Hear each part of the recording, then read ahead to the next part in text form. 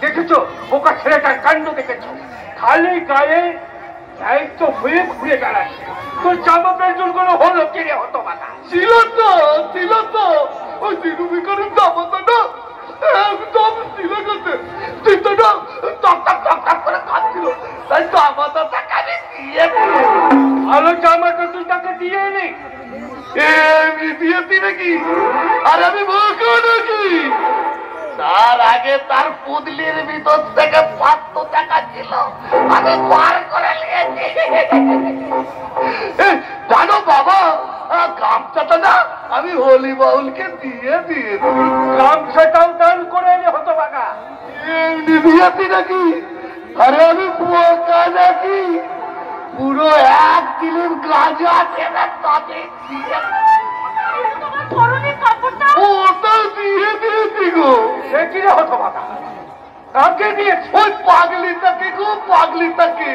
ওই তো গো মোলের মাথায় বসে দুটো হাতে আর হাতে তালি দেয় আর সকলকে গালি দেয়।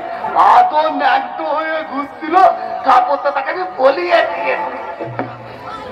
কাপড়টা তুই এই রাস্তার পাবলিককে পরিয়ে দিয়ে? সত্যি বলে কি কিছুই নাই রে? আরে আমি নাকি তার আগে পাগলিটাকে কল ঘরের মধ্যে নিয়ে গিয়ে চেপে দেয় চেপে দেয় বলতে নেই চেপে দেয় সব যখন দিয়ে নি তখন প্যান্টুনটা সুতুন দিয়ে এলে একেবারে উলঙ্গ হয়ে ফিরতে পারতিস। উলঙ্গ? সেটা আবার কি বাবা? প্যান্টুনটা খোল তাহলেই বুঝতে পারবি। খুলবো? এই খুলতি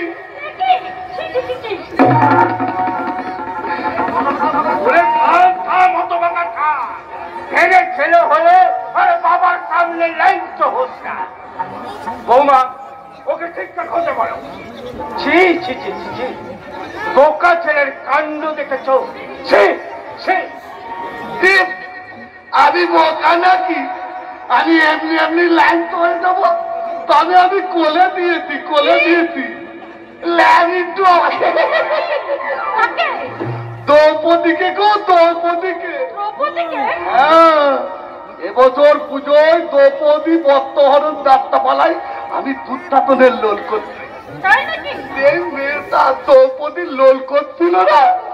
তার কাপড়টা ধরে এমন টান মেরেছি মেয়েটা একেবারে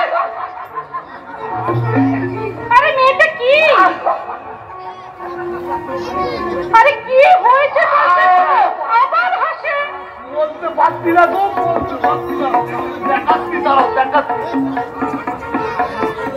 আমি দুঃখ আর তুমি দ্রৌপদী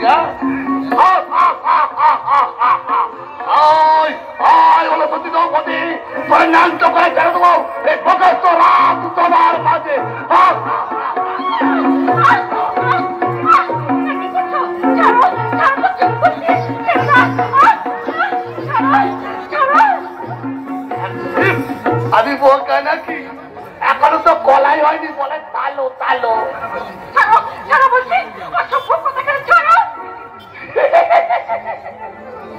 ও তা আমার দাগ নাম পাড়ার মেয়েরা না আমাকে বলেই তুমি একটা আসুক তাকে আমিও বলে দেবো। কাল রাতে দাদা যখন তোমার খালিটা ধরে ওলম ওলম করছিল, তখন দাদাকে তুমি কত আদর করলে। আর আমি একটু এলম এলম করেছি বলে তুমি আমাকে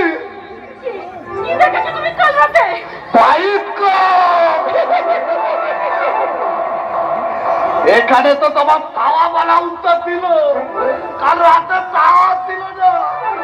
আমাকে আমার মোবাইল ফোন ক্যামেরায়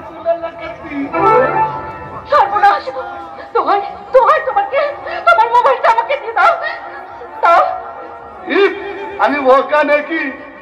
আমি এমনি এমনি দিয়ে দেবো। তবে যদি তুমি আমার একটা কথা শোনো তবে দেবো। কি কথা? মানে আমি একটা প্ল্যান করেছি। কি? আমি না আমি না তোমাকে বিয়ে করব। তুমি আমাকে বিয়ে করবে? হ্যাঁ ভাইকেও করব ভাইকেও করব। হ্যাঁ? মানে আমাদের তিন ভাইয়ের একটাই বউ হবে তুমি। এই ঘরে যদি তিনটে বউ আছে যে তিনজনের মধ্যে মালামালি করবে? আর এত আমাদের এত বড় সম্পত্তি তো ভাগাভাগি হয়ে যাবে। আর তোরে তো মেয়েরা তো একসঙ্গে মিলে মিলেমিশে থাকতে পারে না?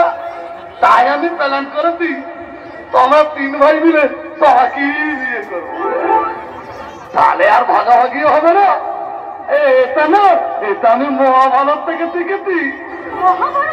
হ্যাঁ পাণ্ডবেরা পাঁচ ভাই মিলে দ্রৌপদীকে বিয়ে করেছিল বলেই তো পাণ্ডবদের মধ্যে কোনো মালামালি ঝগড়াঝাটি কিন্তু হয়নি। বেচারি দ্রৌপদীটা যদি দুঃশাসন আর দুর্যোধনকে বিয়ে করে দিত, তাহলে বোধ হয় পাতা খেলা বনবাস আর কুলুক্ষেত্রের মালামালি কিছুই হতো না। তাই আমি ভাবছি, আমরা তিন ভাই মিলে তোমাকেই বিয়ে করে নেব। চমৎকার। আসলে তুমি নামে বোকা হলেও তুমি সারা আসলে একটা মানে? মানে সম্পত্তির ভাগ বাঁচাতে তিন ভাইয়ের যদি একটাই বউ হয় আর সেই সম্পত্তির ভাগ নিয়ে যদি তিন বইয়ের মধ্যে যুদ্ধ শুরু হয় সেটাও কিন্তু কুরুক্ষেত্রের থেকে কম কিছু হবে না। কথাটা বুঝেছ বোকা? আমি বুঝেছি কিন্তু একটা কথা আমি কিছুতেই বুঝতে পারছি না। এই কতি ভালো না এই ভালো। এই নতুন শালিটা ভালো। না পুরোনো বউটা ভালো। এ থালা খালাম তাই ভালো। যাই বাবা মোবাইলের বাইক কপটা খুলে দরজাটা বন্ধ করে রেখে যায় বাইক কপ